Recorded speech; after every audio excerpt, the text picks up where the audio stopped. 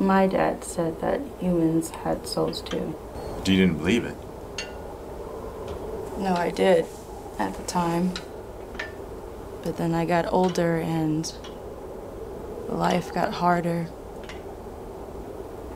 I stopped believing in all of that. It all turns black. But what if it doesn't?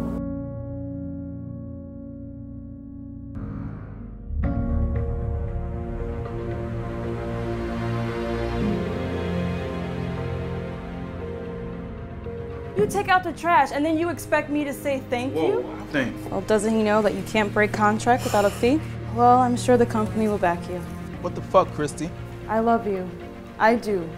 But I need to go sort some things out.